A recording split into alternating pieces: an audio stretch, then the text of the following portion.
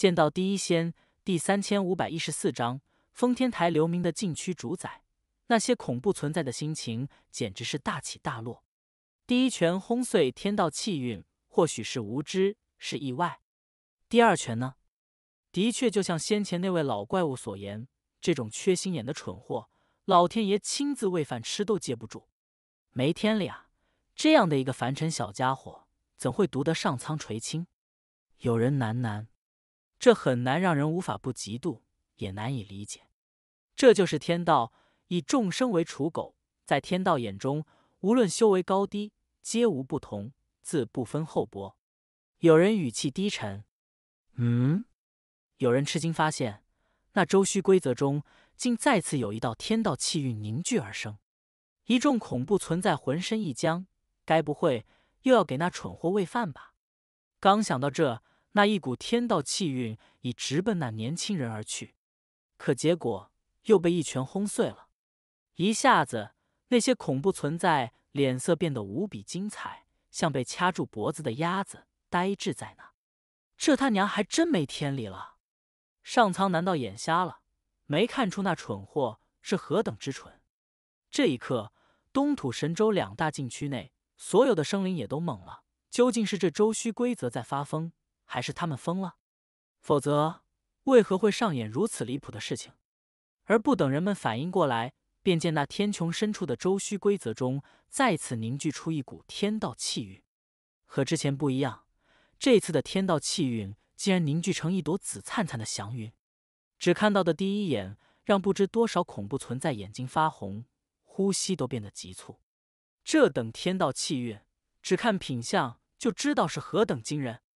可让所有人抓狂的是，那被视作蠢货的年轻人，居居然又挥拳击溃了这一股天道气运，岂有此理！有老怪物怒吼，胸口憋闷的快炸开。他们抱着拼命的心境，欲抢夺一股天道气运，却直接被拒绝在外。可那凡尘中的小修士明明是个蠢货，却一次又一次得到上苍垂青，这他妈还有天理没有了？并且所有人都注意到，那天道气运的品相一次比一次好，这给人的感觉就好像天道气运是一条舔狗般，被拒绝之后非但不恼，反而加倍的去继续舔。而接下来上演的一幕幕，也在印证这种感觉。便见第五次出现的天道气运，演化成了一部流光溢彩的紫色宝印；第六次出现的凝聚为一株紫色莲花；第七次凝聚为一盏琉璃灯，一次比一次神异。到最后，连那些恐怖存在都无法辨认那天道气运的品相究竟高到了何等地步，因为太过神异。自混沌最初的时代至今，各大禁区的强者在抢夺天道气运时，也曾发现许多稀罕的天道气运，可却从没有像此刻那般，每一次出现的天道气运会那般神异莫测的，连听都没听说过，更别说见过。可让所有人机遇破防的是，那些天道气运竟一次又一次被击溃了。两大禁区内，天穹之上，气氛变得沉闷压抑，寂静无声。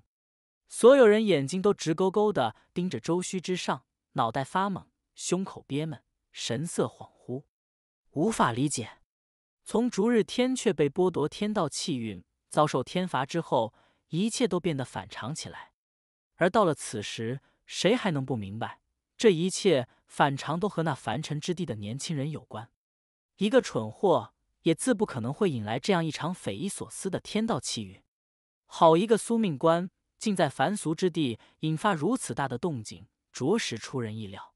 忽的一道干涩嘶哑的声音响起，那天穹上的一众老怪物浑身一震，如梦初醒般，皆齐齐看向声音的主人。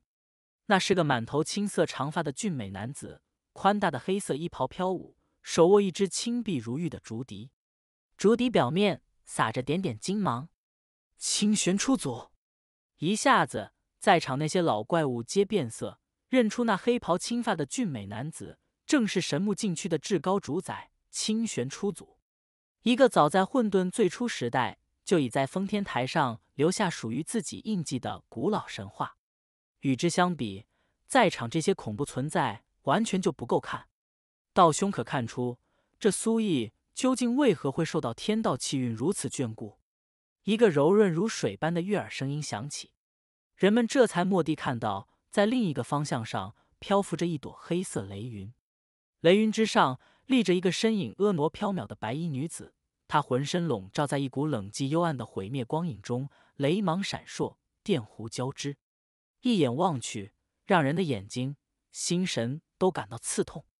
画影出祖，万雷禁区的至高主宰，和清玄出祖一样，他也曾在封天台上留下痕迹，一如神话。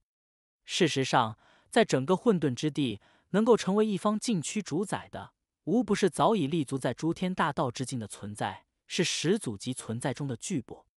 这一刹，所有人都心悸，变得噤若寒蝉。没人想到，这样一场天道气运的动静。竟会引来这两位禁区主宰亲自驾临。直至冷静之后，人们才终于明白缘由。因为那被他们视作蠢货的凡俗年轻人是苏毅，命官一脉的主宰，更是混沌最初时那个被视作太初第一的剑客的转世之身。在命和起源其他地方，或许极少有人听说过和剑客有关的事迹。可这里是鸿蒙天域的混沌之地。谁能不清楚，在混沌最初时代，那剑客已是各大禁区公认的第一人？为何不称其名？答案很简单，其名如道，不可名之。这一刻，人们也终于明白，为何天道气运会发生那样一场反常的变故。一切都和苏毅有关。早在前天时候，有关此人降临鸿蒙天域的事情就已传遍各大禁区，并且都已得到旨意。命令那些执掌凡俗之地的强大存在一起去追击苏毅。这件事早就在混沌之地闹得沸沸扬扬，早已不是什么秘闻。谁知道呢？或许和他命官一脉的力量有关，也或许和他是剑客转世之身的身份有关。清玄出族语气平淡，他看着那周虚规则，发现继第七股演化为琉璃灯盏的天道气运被击溃后，再有一股天道气运在凝聚。并且看气象，明显更神异了。清玄出祖呼地道：“我已传信给定道者大人，告知苏毅出现在东土神州的事宜。”远处黑色雷云上，身影婀娜飘渺的画影出祖美眸微微一凝，他如何说？清玄出祖微微摇头，未曾得到任何回应。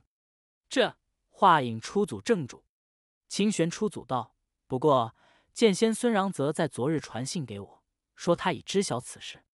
听到孙禳这个名字，画影出祖似是感受到无形的压力般，悄然深呼吸一口气，道：“孙禳要来东土神州，不清楚。”清玄出祖眼神微妙，这家伙一直混迹在凡尘之中，宁可去当一个身份卑贱的土地庙庙主，也不肯踏足混沌之地。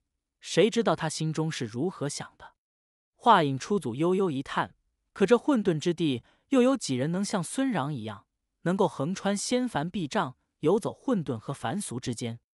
据说前些时候，他还曾离开鸿蒙天域，去外界走了一遭呢。清玄出祖眯了眯眸，正欲说什么，就见那第八股天道气运竟然凝聚成一页神秘的紫色经书。一下子，清玄出祖和画影出祖皆动容，露出异色。天道气运虚无缥缈，玄而又玄。谁敢想象，那源自鸿蒙天域混沌本源的气运之力，会演化为经书意象？既如此，那经书内又记载着什么？藏有多大的玄机？你可曾见过？清玄出祖问。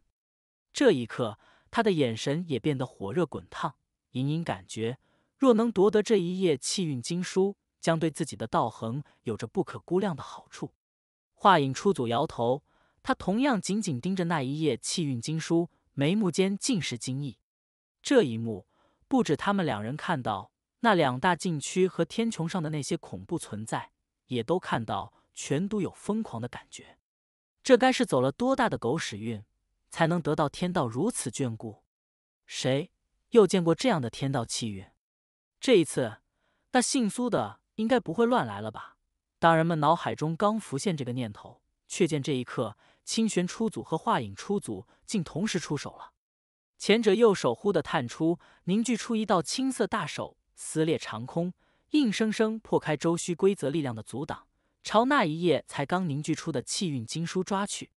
后者脚下一踏，抬手一抛，一道雷光轰的一声撞破周虚规则。当抵达天穹深处时，那雷光则倏尔化作一张电弧交错的大网，竟抢在清玄出祖之前，将那一页气运经书罩住，收入雷霆大网之中。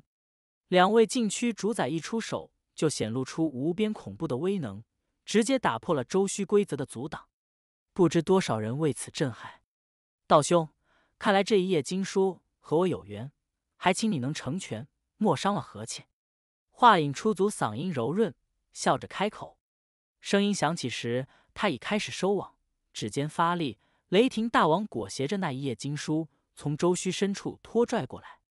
清玄出祖。眉头不易察觉的皱了皱，依我看，这一页气运经书还是由咱们二人一起参详为妥。他正欲出手争抢，可就在这一瞬，异变陡生，